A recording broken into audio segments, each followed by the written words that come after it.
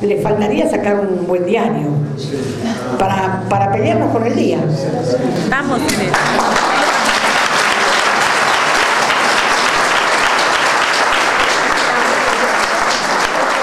A ver, ¿qué, qué me cuenta del diario? ¿Qué?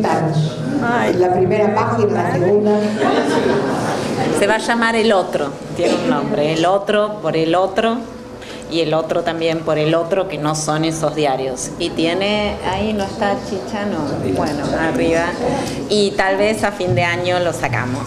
¡Ay, qué bueno!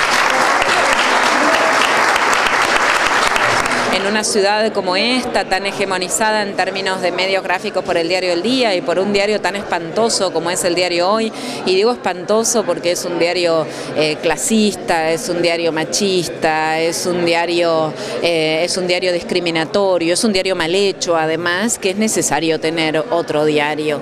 Eh, entonces estamos pensando, bueno, justamente estamos trabajando con muchos otros compañeros en este otro diario que se llame justamente El Otro, en, en su doble en su doble lectura, el otro, el otro diferente a este tipo de periodismo y el otro porque creemos que estos años han sido años donde la comunicación más que nunca se juega en la posibilidad de, encuentro con el otro, de reconocimiento, de sensibilidad eh, con respecto al otro que somos nosotros, ¿no? Y bueno, esta, esta idea, que esto que esbozó tan claramente, que dijo tan claramente la presidenta, la patria es el otro, eh, tiene que ver con algo que está hace muchísimo siglos en la condición humana, que es el otro. El otro puede ser una amenaza, alguien al cual hay que, hay que maltratar, o puede ser el reconocimiento de, de la dignidad propia también. ¿no? Entonces, bueno, estamos trabajando en eso. No podemos adelantar mucho más porque, porque estamos trabajando.